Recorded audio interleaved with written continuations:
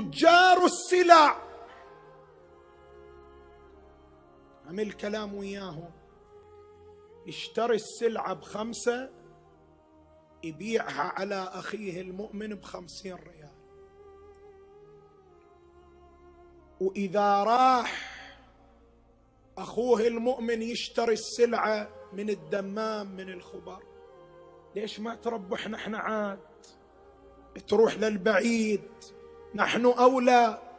كنت مقصر على أولاد بلدك؟ هذا يروح يشتري السلعة بعشرين إلا أنت تبيعها بخمسين. هذا مكروه مكروه. تدري هذا المكروه كراهة الربح على المؤمن؟ يكافئ المحرم. يكافئ المحرم. شو يقول الإمام الصادق عليه؟ ربح المؤمن على المؤمن ربا. ربا. شنو هذا اللسان هذا؟ ربح المؤمن على المؤمن ربا. الإمام يقول ده شيء مغلظ كأنه ماذا؟ كأنه ربا.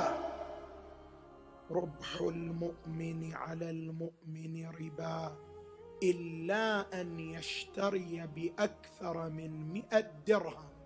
يعني إذا ماخذ من عندك خوش غلة ما يخالف تربح عليه. لكن شقد تربح عليه؟ عظم الله أجور التجار. فاربح عليه قوت يومك. بالك على هواك تربح وش ما تبغى؟ فر هذا الشارع هذه تعاليم الشارع.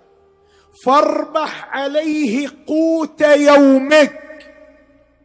انت في اليوم كم تحتاج قوت إلك ولعائلتك مئة ريال؟ الربح اللي تطلعه من مئة شخص دخلوا عليك هو هالمقدار. من عشرة أشخاص المقدار.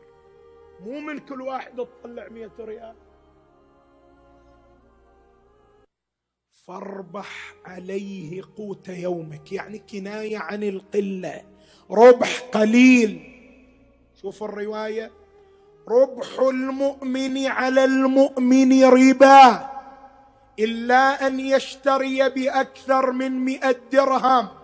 فاربح عليه قوت يومك أو يشتري للتجارة. تاجر مثلك. فاربحوا عليهم وأرفقوا بهم. ارفق. ارفق بأبناء بلدك. ارفق بأبناء جلدتك. ارفق بإخوانك المؤمنين. ليش غلاء الأسعار؟ لماذا أرفع الأسعار فوق الحد؟ لماذا